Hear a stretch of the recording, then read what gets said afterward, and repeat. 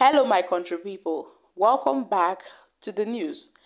The NLC president, Joe Ajaero, gives updates on the nationwide strike after meeting with the federal government. Guys, let's find out more as we hit the news. But if you're joining us for the first time, you're very much welcome. I sincerely appreciate your presence. Kindly subscribe and please don't forget to give us a thumbs up. Thank you. So we know that uh, just about 24 hours to the nationwide strike, the federal government decided to have meeting with the TUC and the NLC. Uh-huh. But then the organized labor leaders in the country have resolved to consult with organs and workers first on the first line of action to be taken on the impending strike action after Sunday's meeting with the federal government delegation.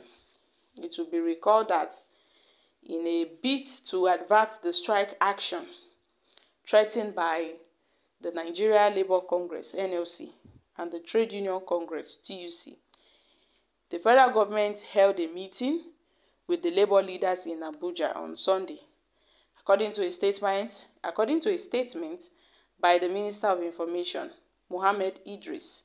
After the meeting, some concessions were made by the government, including the 35,000 provisional wage increment for all Treasury paid federal government workers for six months, commitment to fast tracking the provisions of a compressed natural gas that's the CNG bus, to ease public transportation difficulties associated with the removal of PMS subsidy, the removal of VAT on diesel for the next six months, and the commencement of payment of 75,000 to 15 million household, at least 25,000 per month for a three-month period from October to December 2023.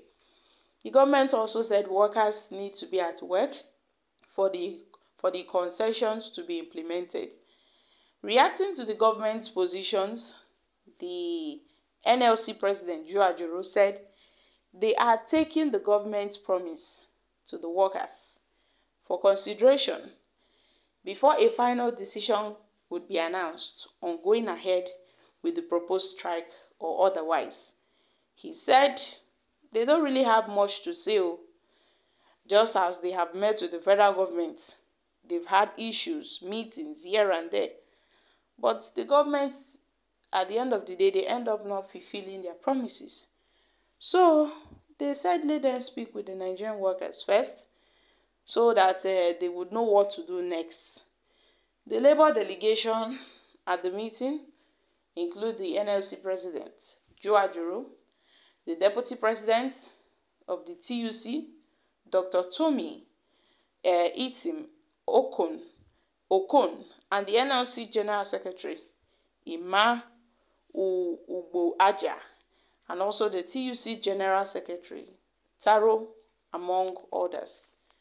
Well, my country people, it is so clear that the federal government meeting with the NLC and the TUC leaders finally it ends in deadlock because they were not responsive to the government and the president's demand.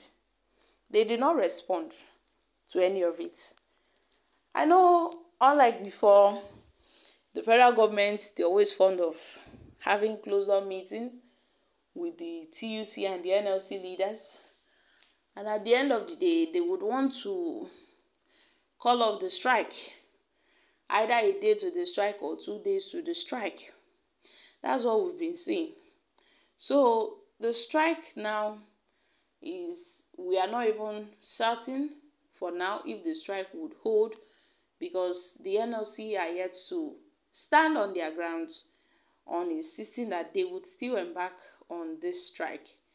Because I'm sure the meeting with the federal government and the NLC is to make sure that the labor cause of the strike is to make sure that they call off the strike So the chief of staff to the president, Femi Gabajamila, who led the federal government's team, announced after the meeting that the government and members of the organized labor reached agreement with the labor officials. Uh, they would take it back to their respective organs for ratification. That's what they said, that they would take it back for the workers so they can put heads together and decide what and how it would be good for the people.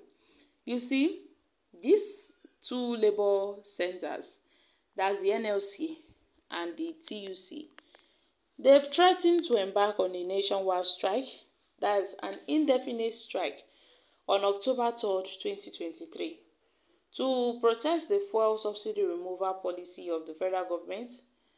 And then, my country people, the labor unions now they are they've urged for a higher wage award and the federal government team have promised that President Bola Tinubu will put this into consideration. And they've also talked about how they would, you know, share this palliative of a thing so it would get to the hands of the masses.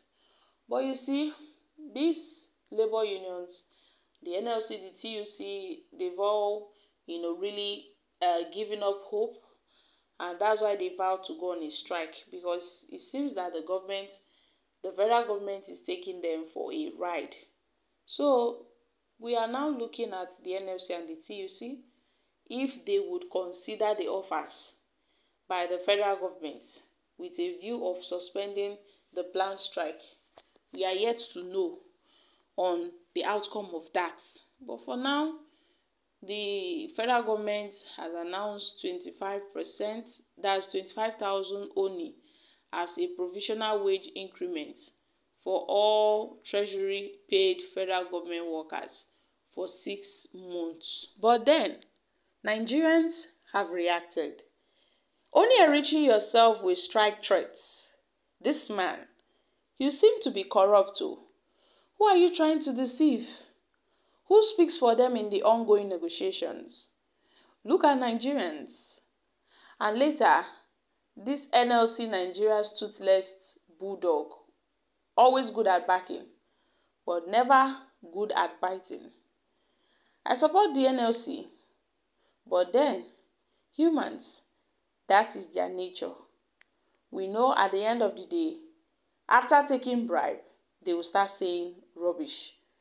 This NLC president, Joe Ajaero, looks very hungry. And I tell you, such a person can be easily bought over with a little peanut.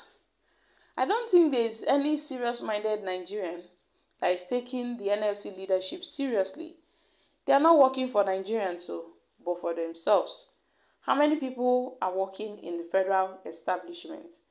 Okay, guys, these are reactions from Nigerians. So my country people, I'm dropping here. Kindly share your thoughts on this in the comment section. Thank you.